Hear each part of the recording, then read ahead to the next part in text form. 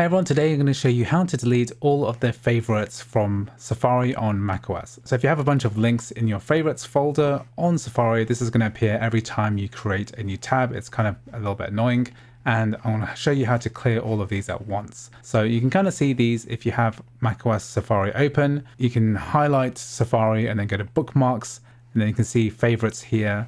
There's a bunch of favorites here, which I don't really want to have anymore. And the fastest way to get rid of them is just to go and select the bookmarks button here and then click on edit bookmarks. And this is going to take us to an entire section here which shows all of the bookmarks here. And if I want to delete all of them, so what I'm going to do is to click on the first item of this favorites list, then we're going to scroll down, holding down the shift key, We're going to hold down and then left click on the bottom of this list. That's going to select all of these. And then what we're going to do is click the edit button and then we're going to press delete. So that's going to delete everything within this favorite section of the bookmarks.